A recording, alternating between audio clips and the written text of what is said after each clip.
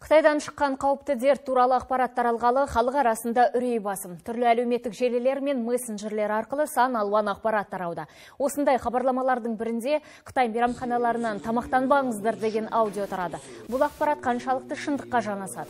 Қытайдан келген қандасымыздың бірі Милатхан Айтқалиұлының айтуынша, ірі қалалардағы Қытай мейрамханаларына қауіпті тағам түсуі әбден мүмкін. Өйткені экзотикалық тағамдардың дені бұл асханаларға Қытайдан жеткізіледі.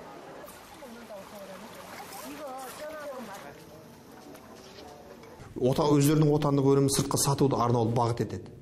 Барлығын ішетін суларын шегім сатып әкеліп отырған компаниялардың өзіне дейін сөйтіп отырған кезде асханалар бізде жоқ бізде ондай көп дүние сатылмайды ғой бізде ондай жаңағы теңіз өнімдері немесе әр түрдегі басқа жаңағы тыйым етілген біз білмейтін нәрселердің барлығы ұсталып бұл жерде ауланып әкеліп ұсталмайды ғой Қандастарымыз айтып отырған ақпаратқа қатысты біз бүгін Нұрсұлтан мен Алматыдағы бірнеше Қытай мейрамханаларына хабарласып жауап алмақ болдық. Өкінішке орай олар сұхбат беруден бас тартты.